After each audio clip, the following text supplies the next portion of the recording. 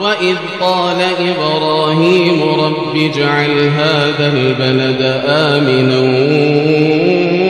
واجنبني وبني أن نعبد الأصنام رب إنهن أضللن كثيرا من الناس فمن تبعني فإنه مني ومن عصاني فإنك غفور رحيم.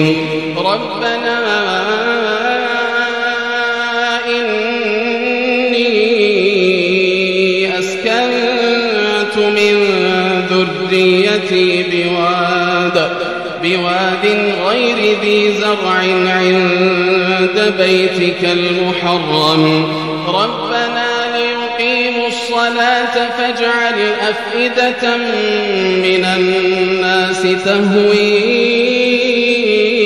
إليهم وارزقهم وارزقهم من الثمرات لعلهم يشكرون. ربنا إنك تعلم ما نخفي وما نعلن وما يخفى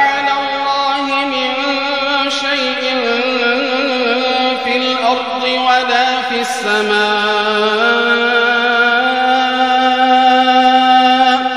الحمد لله الذي وهب لي على الكبر إسماعيل وإسحاق.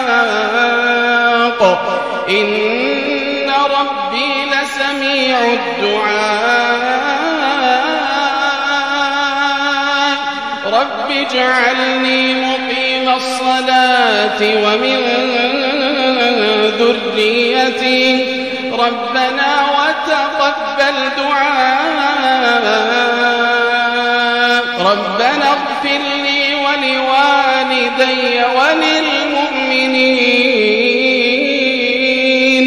ربنا اغفر لي ولوالدي وللمؤمنين. يوم يقوم الحساب.